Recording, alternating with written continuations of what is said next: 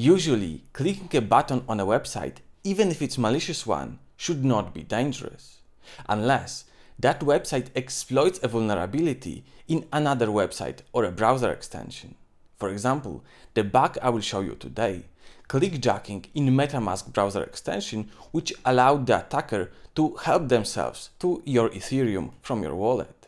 MetaMask paid the bug bounty of $120,000 for this bug. And this video is the first one where I don't have the access to the report or to a blog post. I mostly rely on reversing the patches, and I had so much fun doing this. I also think I'm the first one to publish a proof of concept for this bug.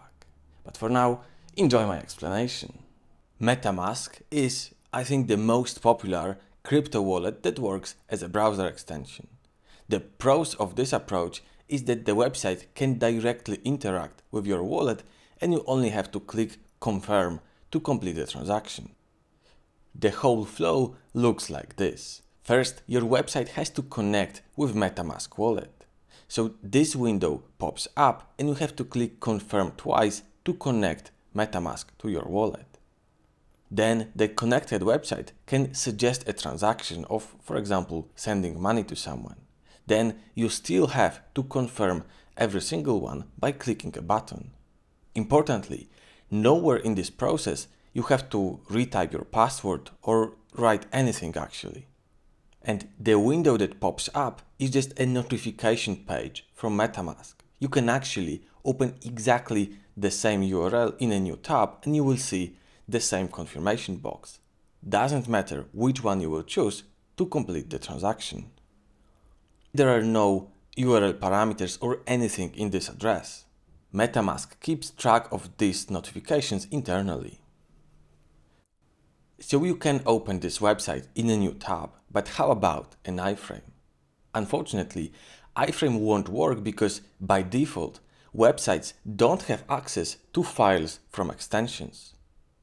However, sometimes extensions must make an exception, and that's where web accessible resources come into play, it's a directive that every extension can define in the configuration file. MetaMask used version 2 of this directive and it looked like this, just a list of files that can be accessed by any website. In the vulnerable version of MetaMask, indeed I can iframe this phishing website. What it actually is there are websites that pretend to be other websites and they try to steal your money.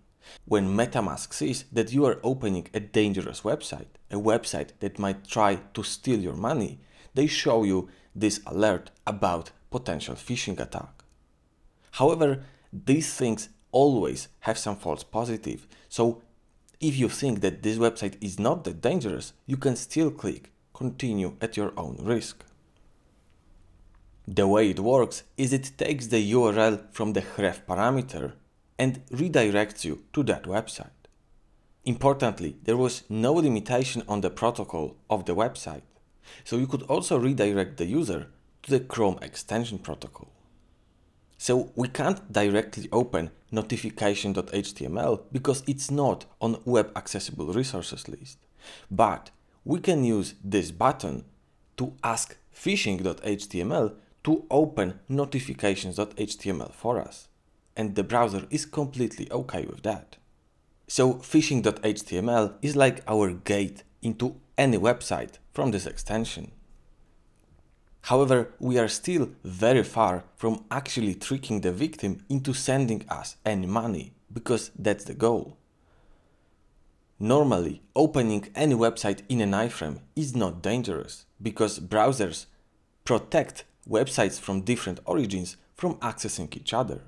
So even if I open the MetaMask window in an iframe on my website, my JavaScript still can't access any data from the iframe, not to even mention clicking any buttons. Even if I could do this, to get to this point, I have to trick the victim into clicking continue at your own risk button, and it doesn't sound very likely to me. And this is where clickjacking comes into play.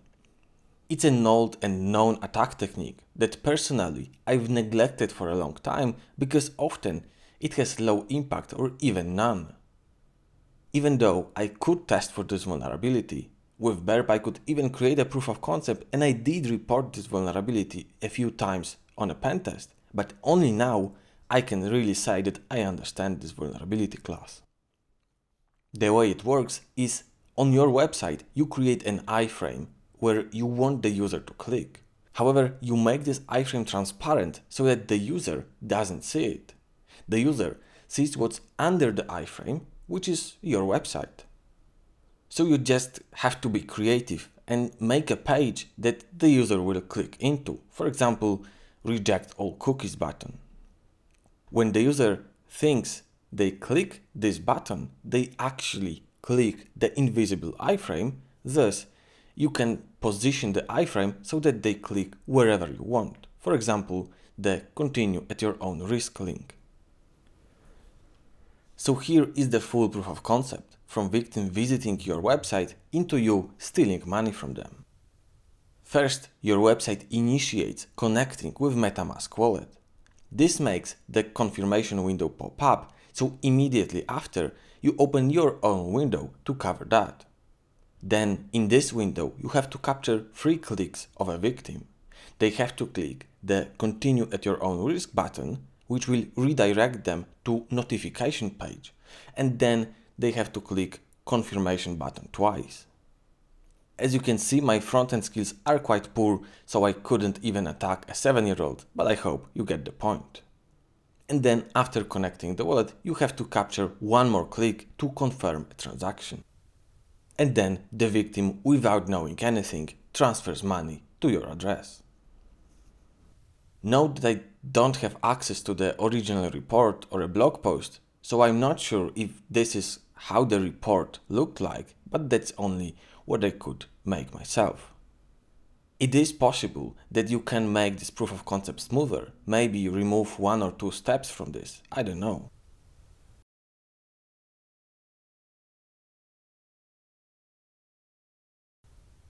How to not be vulnerable to clickjacking?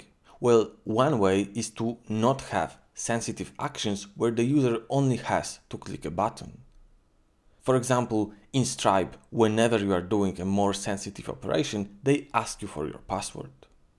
On other websites, for example, when you're making GitHub repository public from private, they ask you to retype the repository name.